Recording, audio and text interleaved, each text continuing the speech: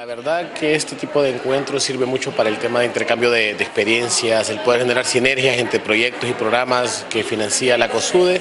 y para nosotros como Swisscontact es de mucho interés todo el tema de manejo de cuenca, todo el tema de la aplicación de lo que son redes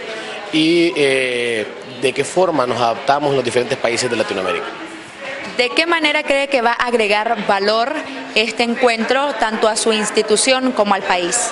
Yo creo que hay un punto importante que es el tema de generar nuevas relaciones, generar nuevas sinergias, poder abrir espacios de interacción entre proyectos, experiencias que se han llevado ya en otros países de Latinoamérica y ver de qué forma nosotros como institución las aplicamos en nuestro territorio y hacemos que sea más valedero y de mejor